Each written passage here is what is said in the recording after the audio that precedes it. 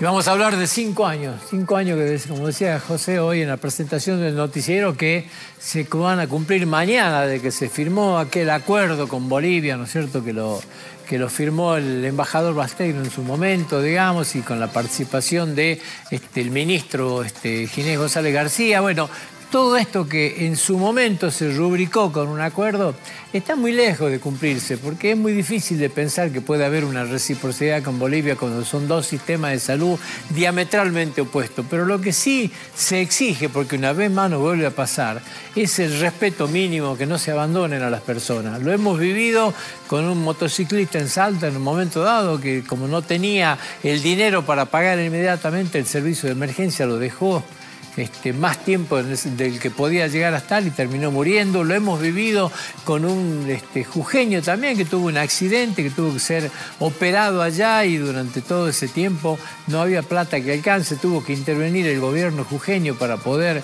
traerlo, ¿no es cierto?, a través de un avión. La realidad es que se negaban a atenderlo y ayer lo vivimos con una criatura de cinco años que termina fuertemente quemada a través de, de agua hirviendo y que lamentablemente cuando fue no la atendieron, la llevaron de urgencia al hospital Jorge Uro, en la Quiaca del Jorge Uro la derivaron acá al este, sistema local donde está en el materno infantil, este, pero la realidad es que no la atendieron directamente. Es muy raro que un argentino vaya a atenderse en Bolivia, es muy común y lamentablemente es un negocio armado que la gente de Bolivia venga a atenderse en la Argentina. El sistema de salud en Bolivia es inexistente, tiene falencias demasiado grandes. El sistema argentino está diseñado de esta manera, casualmente, para atender de esta manera, gratuitamente a todos los que vengan. Bueno, es un marco que hay que empezar a discutirlo de otra manera. Una cosa es atender a un turista de otro país que llega acá,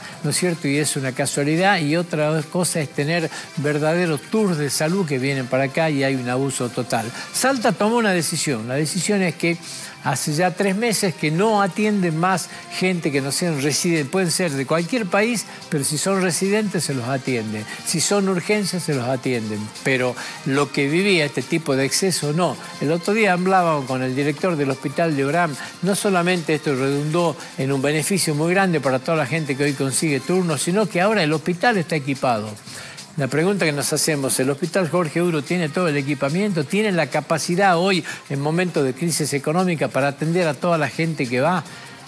La realidad es que en el hospital, por ejemplo, de nuestra frontera con Salta y Bolivia, el hospital de Orán dice que el 91% de la gente que atiende son bolivianos. ¿Cuánto es en el Jorge Uro? Estamos en cifras parecidas. Bueno, en este marco, ¿qué es lo que hacemos? ¿Por qué estamos tan en silencio? ¿Se va a hacer algo con este tema? ¿Podemos seguir permitiendo que nos abandonen de esta manera? Hoy es una criatura de cinco años, no hubo nada de sensibilidad, nada de empatía, directamente no la atendieron, ¿no es cierto?, en el otro lado y tuvo que pasar de urgencia a la República Argentina. Es algo inadmisible.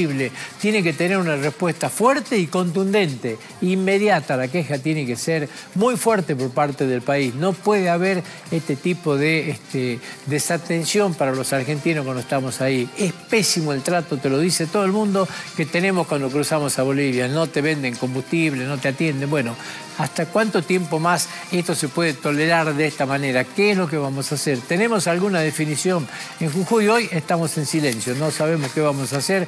Seguramente el Ministerio se va a expresar en estos, entre hoy o mañana, pero hace falta tomar medidas definitivas en este tema. No puede ser posible que el argentino que cruce a Bolivia termine abandonado de esta manera, poniendo en riesgo su vida también. Alberto, te sumo un datito en relación a esta información. Tiene que ver con lo que hablamos temprano con autoridades del Hospital de la Quiaca. ¿Sabes qué o cuáles son las atenciones que más aumentaron en el último tiempo? Los nacimientos. Muchas mujeres oriundas de Bolivia vienen a tener sus hijos a, a la Quiaca.